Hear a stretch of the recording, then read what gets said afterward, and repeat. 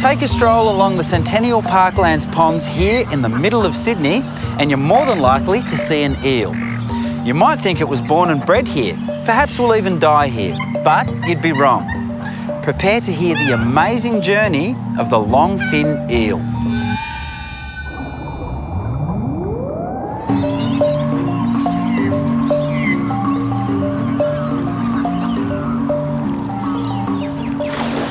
Oh, what a beauty. So this is our long-finned eel.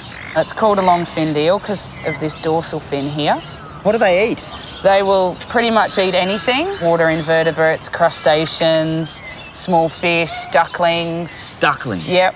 Yep. You'll eat a duckling? Yep. They are uh, one of the top predators in the pond. The longfin eel is an Australian native species and it occurs in waterways all along the east coast from Queensland to Tasmania. I think um, people don't really like them. They find them quite creepy, quite slimy. But I've really begun to sort of fall in love with the eels here the more I find out about their story. An astonishing part of their story is that the eels, happily living in these ponds, will suddenly set off on a journey of a lifetime. Sexual maturity is one of the factors that triggers the migration. They feel the need to go and reproduce. The males are between about 8 to 12 years old, the females anywhere from about 10 to 30 years old before they begin their spawning migration. The first part of the journey is through the chain of ponds in the parklands through to the lowest lying corner. We have inlets and outlets for each pond, so that's how they would move from pond to pond. They can even go over land for short distances when there isn't a water connection.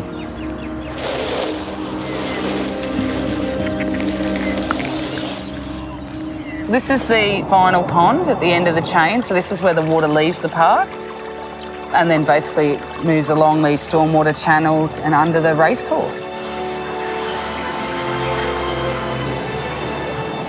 Then they use the three golf courses, probably using some of the water courses there, um, to then slowly make their way down towards the airport. So this is it? This is it, yeah, this is Millstream. This is where they come out into the bay. From freshwater into saltwater for the first time? Yep, that's right. Those little sensors on their nose will pick up the change in the water and their gills will adapt to the more brackish water and then eventually to the salt water. But all sorts of other um, changes occur to adapt them to the environment. Their eyes enlarge and their eye pigments change so they can see better in um, oceanic waters. Um, they build up fat reserves before they go. Their pectoral fins, the pin, fins on the side of the body, get larger. Their gut totally degenerates because they don't feed, and the anus constricts to restrict water loss from the body. So there's quite some uh, amazing changes that occur uh, as they make that migration. But getting to Botany Bay is just the first leg of the trip, and it's the easy part. The eels on this part of the coast, they actually head out to the southwestern Pacific.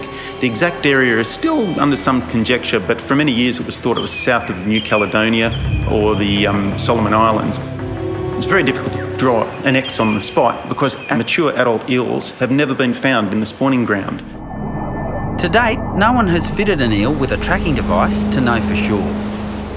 We hone in on the spawning ground by looking at the size of the leptocephali, the juvenile eels. Obviously, the smaller the little eel, the closer you are to where it was an egg, and thus where the spawning occurred.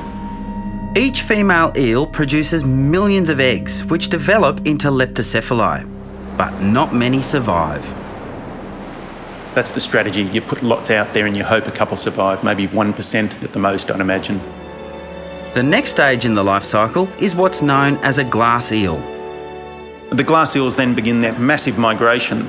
They swim across from the spawning grounds back to the east coast of Australia and then follow the East Australian current down the coast and then into rivers. The juvenile eels come out of Botany Bay and swim back up this stream.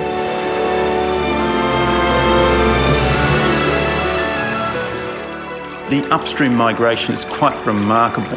Certainly in the Sydney region, it's been well documented that they can actually negotiate Warragamba Dam, which is over 100 metres high.